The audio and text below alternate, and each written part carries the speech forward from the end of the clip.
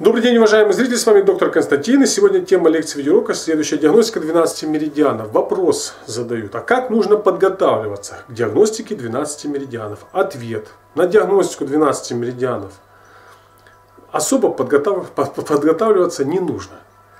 Желательно не употреблять спиртных напитков, не употреблять наркотиков перед диагностикой 12 меридианов и приходить на диагностику 12 меридианов выспавшимся.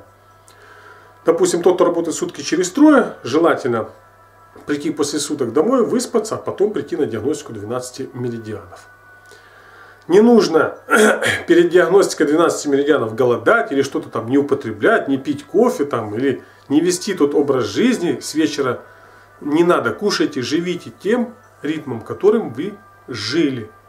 Запомните, которым ритмом вы жили, с таким ритмом вы должны и прийти на диагностику 12 меридианов.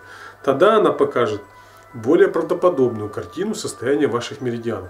А если вы будете готовиться, если вы будете там голодать, только кушать, допустим, живые продукты, только растительные, только не есть жареное, не есть мясо, это все неправильно. Вот каким жизненным ритмом, тонусом вы живете, с таким Милости просим на диагностику 12 меридианов. Она будет более правдоподобна.